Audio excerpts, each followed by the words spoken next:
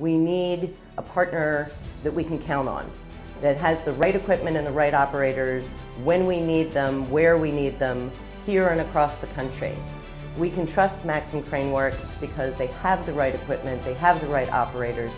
Safety is their number one goal. Hi, I'm Dana Spain. I'm the president of the board of directors of the VBC Giving Foundation. And we're here today at the Duffield Veterans Village, our pilot program, with our mission to combat the housing crisis in America by building affordable housing using modular construction systems for our most vulnerable populations. So we're really bringing the community together to get this off the ground, but specifically to get this out of the ground, you can't build it without a crane.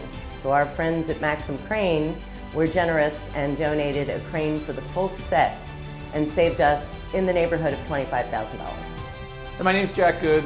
I am the regional sales manager for Maxim Crane. With VBC, uh, they are a perfect partner. They are a customer that is very loyal to us. They uh, allow us to build a relationship and go after future work together as a team and a partnership.